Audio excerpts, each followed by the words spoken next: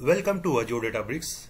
In previous video, we created a cluster. In this video, we will create a job or workflow.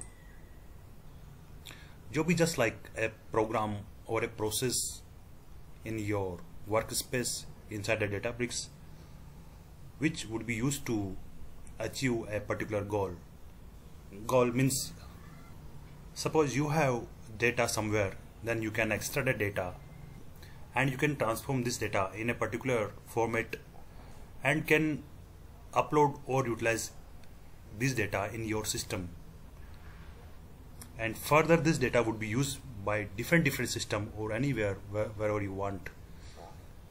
In short we are doing ETL extract transform and load. So in the definition a job is a way to run non-interactive code in an Azure Databricks cluster. So definitely we will use the cluster. Without cluster we cannot run any job.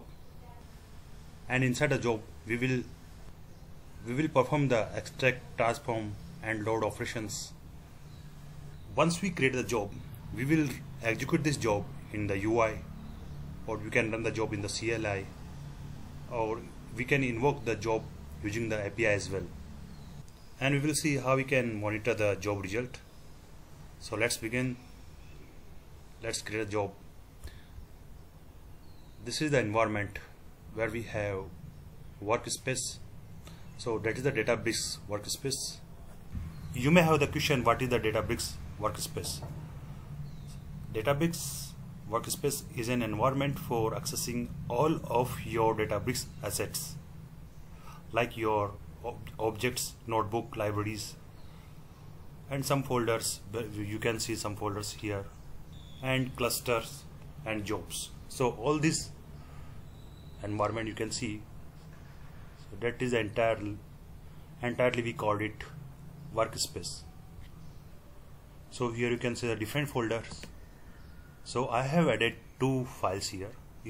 It is two files retrieve by retrieve web name and filter web names. So if I click on this one so it's just a Python program. If you are coming from the data science background definitely you are aware about these programs. Like we have the Python notebook and the Python notebook we have Python program. It's just simply extracting the data from this URL and and we are putting this data into the CSV file and if you see the second program filter baby's name. Now here I am just passing the parameter year 2014 and based on this parameter it's just fetching the data and will displaying the data. So if I run the program it will fetch the data. So for this parameter it's just fetching the data into it's just fetching the data and you can see the result over here. You can run this program from here but we will create a job that would be used to execute this python program. Now see we have these two python programs. You can I just want to tell you how you can add python notebook here right click create notebook and you can give the name and you need to select the languages. So for now you can see four languages are there. Python SQL Scala and R. So these four languages are the part of this Databricks workspace. So currently you can see supporting programming languages are Python, Scala, Spark, Spark and R now let's create the job. Here click on workflows. In the workflows you will see a window. Workflows jobs. Create on create job. It will ask you to put the details of the job. Here you can edit the name and you need to put the task inside the job. You are creating the multiple task so in the first task what we will do what we will do in the first task, select the type notebook, source workspace. Okay, I'm trying to giving the retrieve baby's name, but it will say only alphanumerics. uh, okay so I, I need to put the character only and path so path is the so inside the so in the path section you need to browse the notebook here you need to select the retrieve baby's name. That is the first task. Name is the retrieve baby's name. And I can create. And the important thing cluster we just cluster you need to select. You need to select the cluster. In the previous video we created a cluster. You can see in the suggestions I created a cluster in the previous video. And now click on create once you click on create it will show the job details at right side. It will show the job details. And that is the first task. You can create multiple tasks. So here is the plus icon. Click on the plus icon. Here I am creating the another task. Task name is filter baby's name and I need to select the path. Inside the path I will select python file filter by baby's name. Select this one and click on confirm. Okay create task here. Now click on create task. So that is the next task. So similarly you can see multiple tasks you can create inside a job like in first task I, am just reading the excel from the url or from the file provider. You can see. And suppose you are working in the organization so so you may have the file providers. And you need you, and you need to read the files from different different feed providers. Okay so we have the two tasks. Now I can click on run now once I click on this one you can see view run. In the view run I can see this window. Okay that that is completed. And if I click on this one it will show the executed task. So both tasks are completed. There is no any error. Sometime you may get some errors but yeah that is very simple program. So it's just reading the data and showing the data. So if I click on the filter baby's name as here we just reading the data but in the filter baby's name you can see this is the result. For this parameter you can see this is the table. That's very easily we have created a job.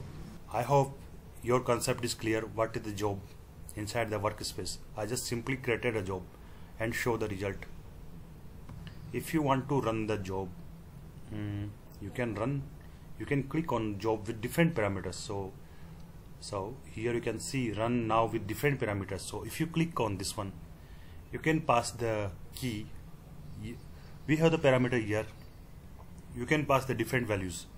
And if I put the value this time 2015 and I click on run it will start running once this done you can see the result over here again. This is the result for 2015 all the rows belongs to 2015 only. So currently this is the program but default value is 2014 but you can see as manually we pass the parameter. So that is the result. This is the job just created but additionally you want to do some more things we have some more features in the job you you can utilize as per your requirement. You can see edit timeout. If I click on edit timeout you can see edit timeout. So if I click on edit timeout here you can see the timeout in seconds. Apart apart from that you have schedule. If you want to schedule this job on a particular time or particular day you can schedule it. Here you can see schedule type is manual or scheduled. So if you click on schedule you can set the date. You can set the frequency on which date and what time the date the job should run and you can save the changes. If you know the cron syntax click on here. Here I can put the cron syntax. You need to just understand what is the cron syntax. There then you can schedule it and next one is the notification. If I click on notification uh, yeah. So here you can determine the action on the success or and on failure and on start.